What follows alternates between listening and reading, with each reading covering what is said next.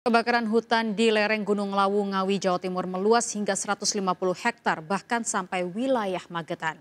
Titik api terlihat dari permukiman warga di beberapa desa di Magetan.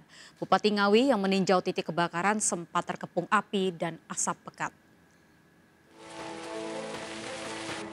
Bupati Ngawi Oni Anwar Harsono dan rombongan berlarian menjauh dari asap tebal kebakaran hutan di lereng Gunung Lawu.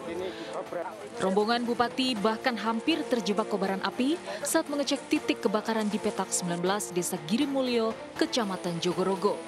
Setelah beberapa menit, rombongan akhirnya sampai di posko, namun merasa sesak nafas dan mata memerah.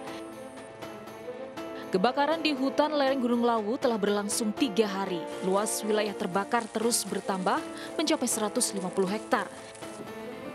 Titik api bahkan meluas hingga wilayah Magetan, sisi timur lereng Gunung Lawu.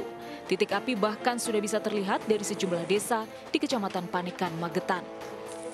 Upaya pemadaman melibatkan sekitar 350 orang tim gabungan. Namun angin kencang membuat api terus menjalar dan membakar semak serta hutan pinus.